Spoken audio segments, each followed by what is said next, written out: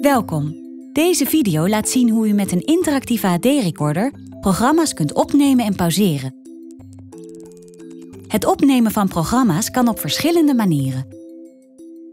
Met één druk op de opnameknop van uw afstandsbediening wordt het programma wat u op dat moment kijkt direct opgenomen.